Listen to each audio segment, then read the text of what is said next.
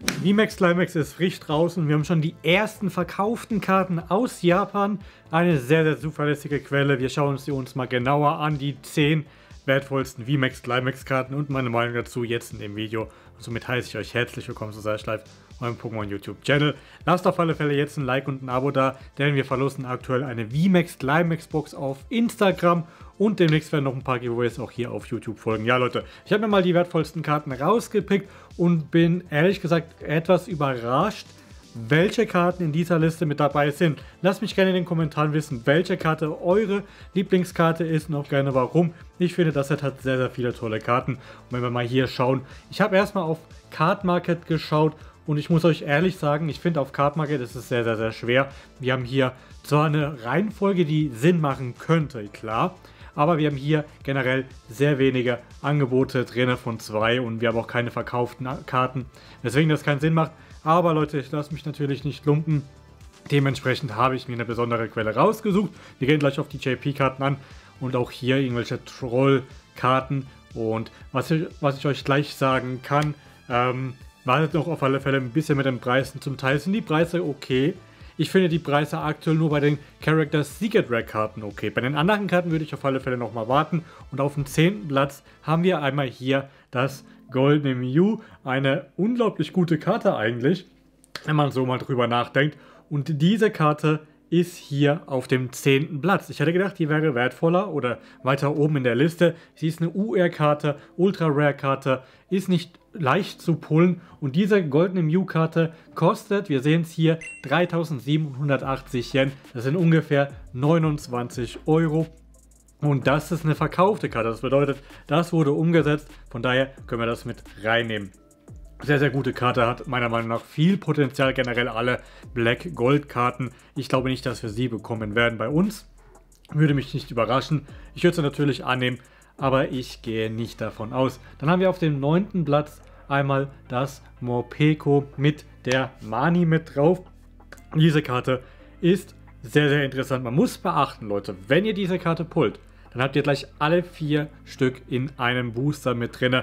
Weswegen ich mir gut vorstellen kann, die ist jetzt am Anfang sehr, sehr wertvoll, weil viele unbedingt Mani haben möchten. Aber auf lange Sicht wird sie definitiv droppen. Hier mal ein kleinen, äh, kleines Sneak Peek von OK Chilov. Und ihr seht hier ganz genau, interessanterweise ist der Part mit Money am teuersten und die anderen äh, sind halbwegs bezahlbarer. Und ja, ähm, oh, äh, Spoiler, aber egal. Ja, diese Karte kostet, wir schauen mal rein, 3980 Yen und das sind 31 Euro. Das geht eigentlich, aber ich würde sagen, das ist zu viel für diese Karte. Auf dem achten Platz haben wir, ihr habt es ja eben schon gesehen, einmal das Felinara, eine sehr, sehr, sehr schöne Karte. Ähm, die Karte geht auf alle Fälle, wird auf alle Fälle sehr beliebt sein, auch auf lange Sicht. Wir haben hier tolle Farben, blau, rot, passt sehr, sehr gut miteinander und mit der Arenaleiterin noch hier dabei. Und preislich sind wir hier bei 4280 Yen und das sind einmal 33 Euro. Hier müssen wir aber beachten, Leute, dass eine CSR-Karte bedeutet, CSR-Karten sind eine pro Box garantiert. Wir haben noch Secret Rare-Karten, das sind die Trainer Full Art-Karten, die sind nur in jeder zweiten Box garantiert. Ich würde sagen, der Preis ist okay, aber kein Must-Have für mich jetzt. Ich würde da auf alle Fälle noch warten. Vermacht erstmal das Eevee Hero Set voll, bevor ihr euch diese Karte holt. Und die nächste kommt gleich mit dazu, ist einmal das nach Tara VMAX auch hier. Macht erstmal Eevee Heroes voll, bevor ihr euch diese Karte holt.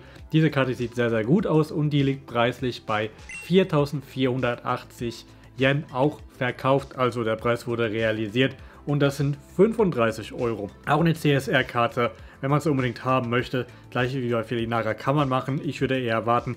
Ich finde diese Karte ähm, interessanter. Bisher der Kopf ist ein bisschen komisch, vielleicht ein zu langer Hals, schwer zu sagen, aber trotzdem eine sehr, sehr gute Karte. Auf dem sechsten Platz haben wir einmal Mimikyu VMAX auch CSR, auch eine Karte, die nur einmal pro Display garantiert ist. Ob man sie pullt oder nicht, ist halt eine Geschmacksfrage, ob man sich dann darüber freut. Ich finde die Karte sehr, sehr gelungen. Die liegt preislich bei 4780 Yen. Das sind 37 Euro. Und das ist noch immer unterm UVP von einer Box. Das von daher ist okay, kann man machen. Ich würde definitiv warten. Ähm, generell solltet ihr bei jeder Karte warten, außer ihr pullt sie selber, weil Die werden auf alle Fälle nochmal ein bisschen günstiger und ich muss sagen, dafür, dass wir schon so weit vorne sind in der Liste, geht das fit. Ich finde die Karte gut, wird ihre Fans haben, aber ich finde die zwei Eevee-Entwicklungen vorher um einiges interessanter. Dann auf dem fünften Platz haben wir hier einmal das VMAX Pikachu mit Trainer Rot und ich finde das sehr, sehr interessant. Das sollte definitiv die oder eine der interessanteren Karten aus dem Set sein. Ich weiß, es gibt sehr, sehr viele tolle Artworks, die alle gut aussehen. Aber diese Karte hier ist eine CSR und die ist auch nicht immer garantiert. Die ist garantiert mit einer, aber es ist nicht garantiert, dass ihr genau die pullt. Wir haben viele weitere CSR-Karten. Die hier bewegt sich preislich bei 5780 Yen. Die sogar noch vorrätig. Da könnt ihr noch zuschlagen. Ich finde den Preis realistisch, weswegen ich sie da mit reingenommen habe. Und die kostet bei uns 45 Euro. Und der UVP sind, meine ich, 49,99 Euro für eine Box was die Karte eigentlich auch nochmal günstiger macht.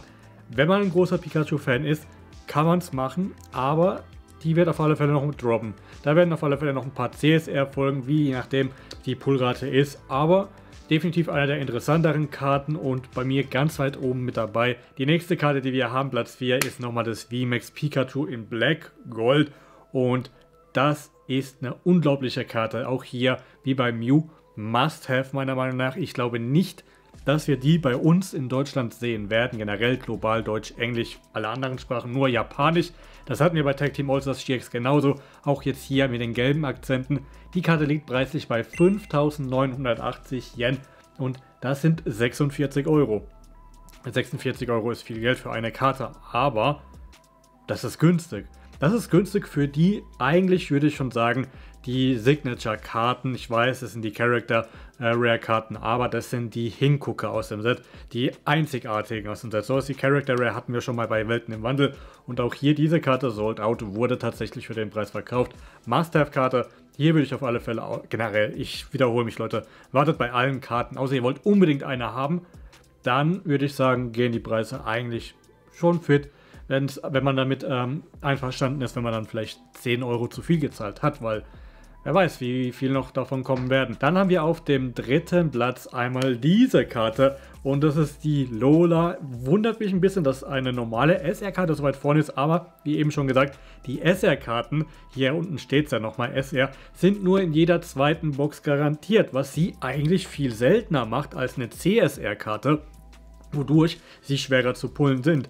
Ich finde das Artwork sehr, sehr schick. Wird definitiv seine Fans haben. Die Karte Ihr werdet gleich sehen, hat einen großen Sprung gemacht.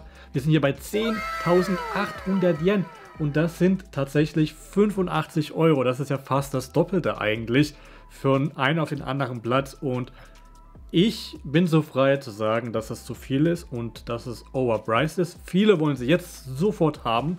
Die wird definitiv droppen. Auf wie viel Euro sie droppt, kann ich jetzt noch nicht sagen. Wir haben, wir haben etliche Waifu-Karten, die wirklich stabil geblieben sind. Sind hier zum Beispiel, die auch ein bisschen gedroppt sind, aber noch immer teuer sind. Wenn diese Karte, sagen wir mal, 20 Euro droppt, dann könnt ihr mit den 20 oder 30 Euro euch tatsächlich sogar noch diese Gold Mew dazu kaufen. Von daher würde ich auf alle Fälle warten. Auf dem zweiten Platz, eine Karte, die davor der erste Platz war, sind einmal die Galar-Freunde. Unglaubliche Karte es gibt die gleiche Karte aus der Ära vorher mit der Schwert- und Schild-Ära. Ich glaube nicht, dass die Galar-Freunde so viel Potenzial hat, weil man sie pullen kann. Die Karte vorher war eine, eine Promo-Karte, aber diese Karte hat durchaus viel Potenzial. Wir haben hier beliebte Trainer mit drauf und die kostet 16.800 Yen. Nochmal ein richtiger Sprung. 131 Euro. Das ist jetzt auch nochmal so das Black Gold Pikachu oder Mew, je nachdem, wo man ein bisschen sparen kann, nochmal die Differenz dazwischen. Das würde ich jetzt nicht zahlen. Es ist eine SR-Karte und das macht die Karte wahrscheinlich so unglaublich begehrt und so selten. Weil die sind nur in jedem zweiten Pack-Box äh, drin und ob man genau die pullt oder irgendeinen anderen Trainer als SR, das ist halt ähm, sehr, sehr viel Glück ihr müsst ja erstmal pullen und wenn ihr es dann pullt, dass ihr noch eine SR pullt. Von daher, sie hat auf alle Fälle viel Potenzial. Sie wird, glaube ich, schon ein bisschen günstiger, aber ich weiß nicht, ob da viel Luft ist. So, bevor wir zum ersten Platz kommen, haben wir noch ein paar Karten, die ich persönlich sehr, sehr gut finde. Wir haben hier einmal das Sarshian V mit Pop drauf. Ich finde die Karte super schön. Wir gehen gleich auf die Preise noch ein. Die ist einfach, das ist Kunst. Das ist wirklich Kunst. Die nächste Karte ist Black Gold Rayquaza. Ihr habt gemerkt, hey, die ist ja gar nicht hier dabei. Wundert mich persönlich ein bisschen. Ich denke, die Leute sind jetzt erstmal scharf drauf, sich die ganzen SR- oder CSR-Karten zu holen. Die Karte mit Pikachu und Mew viel, viel Potenzial. Ob die Uribus und der Knappenreiter auch so viel Potenzial haben, würde ich eher sagen, eher weniger. Das sind so die drei Karten, die sollte man definitiv holen. Da gehen wir auch nochmal gleich auf den Preis ein. Und noch eine weitere Karte, eine CHR, das sind die Karten, die ihr drei bis viermal pro Box bekommt, ist einmal N mit Zekrom. Und ich finde diese Karte unglaublich schön, auch pures, äh, pure Kunst eigentlich schon. Sehr, sehr schön bezahlbar. Da warten wir auf alle Fälle, bis er günstiger wird. Ich erwarte, dass die CHR-Karten auf 2, 3 Euro droppen. Da wird es ein paar Ausnahmen geben, dass sie vielleicht mehr kosten. Die hier wahrscheinlich, aber die ist sehr, sehr, sehr, sehr gut. Auf dem ersten Platz eine Karte, bei der ich überrascht bin, aber wiederum auch nicht, dass er da drin ist, ist eine Waifu. Ja, sie ist hier drin. Wir haben hier einmal Lila aus der Stadt Elises von der vierten Generation. Das ist die Stadt, in der Cynthias Oma ist und diese Karte ist mit Abstand die wertvollste. Also ja, mit Abstand. Es ist schon ein kleiner, eine kleine Differenz zu den Galar-Freunden. Die kostet dann 18.800 Yen. Für den Preis wurde sie verkauft. Das sind 146 Euro. Da ist wieder eine Differenz. Mit dem Geld könntet ihr euch theoretisch noch ein paar CHR-Karten holen. Das ist zum Beispiel jetzt einmal N, den wir gerade eben hatten. Und ja, diese Karte ist sehr, sehr wertvoll. Kann ich auf alle Fälle verstehen, warum. Waifu-Fans wollen sie haben. Ähm, buntes Artwork, kein Rainbow oder sonstiges. Man hat Farbe, das passt zu Charakteren viel besser. Und sie ist auch ein bisschen knapper angezogen. Das sind so alles ähm, Hinweise darauf, dass die Karte wertvoll wird. Ähm, ob sie sich preislich halten wird, sehr, sehr schwer. Ich würde hier das gleiche Urteil geben wie bei ihr. Kann passieren, kann aber auch gut sein, dass sie sich halten wird, weil Waifu, Trainer, Full Art Karten werden immer beliebter und beliebter. So, so viel dazu. Ich bin gespannt, wie ihr das so seht. Was sind denn eure Favorite Karten? Lasst mich das gerne in den Kommentaren wissen. Ich hoffe, das war für euch informativ und hilfreich. Ich sehe Videos ein bisschen länger, aber lieber so, dass wir mal auf alle Karten eingegangen sind. Ich werde euch den Link in der Videobeschreibung verlinken. Verlinken, ja. Dann könnt ihr es euch nochmal selber in Ruhe anschauen. Dann sind wir durch mit dem Video und dann sehen wir uns im nächsten Video wieder. Macht's gut, bis dann und ciao.